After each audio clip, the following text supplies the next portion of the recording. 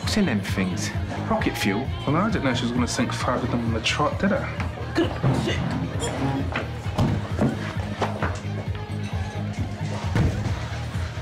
You're welcome. She's a bright mess.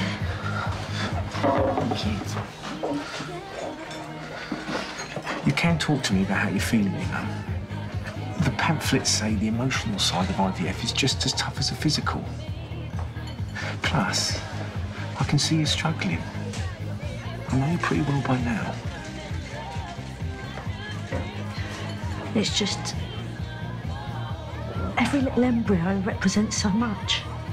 But it only takes one little thing, doesn't it?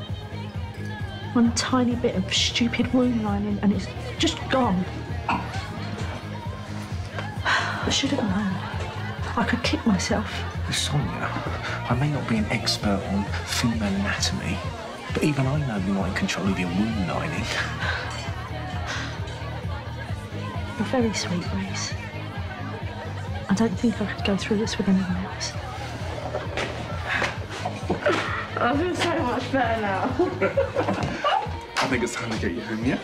Why? Oh, just a little bit too much to drink. No, I love it. Let's go. Oh, That one on my tablet. Let's don't put that one.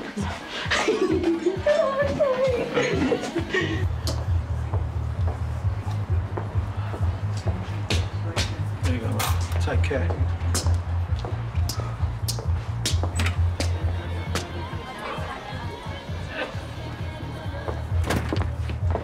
Alfie! Oh.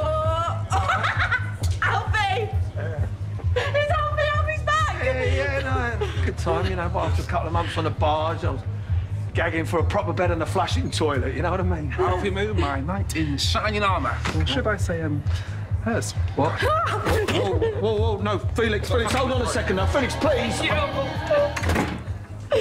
all right? I really, really missed you. Okay, Bern, this is um. Alfie's back! Alfie's back! Wait, wait, shh, shh, shh, shh. Alfie's All right, all right. Don't have shots, don't have shots ever again. Come on, let's come on. Definitely let's- not Wait, there. wait, come on. It's all right, I got you.